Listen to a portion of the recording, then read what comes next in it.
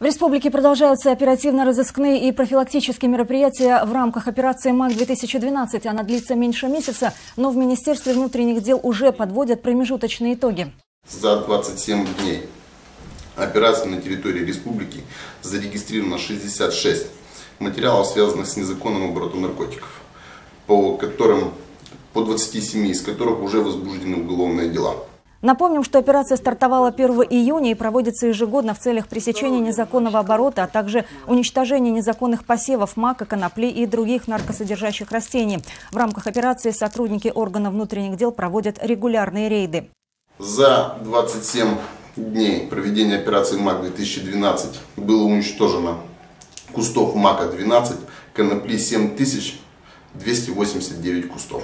За выращивание наркосодержащих растений предусмотрен административный штраф. За незаконное хранение, сбыт и приобретение наркотических веществ наказание уже в соответствии с Уголовным кодексом от 3 до 20 лет лишения свободы. Операция МАК-2012 продлится до 31 августа.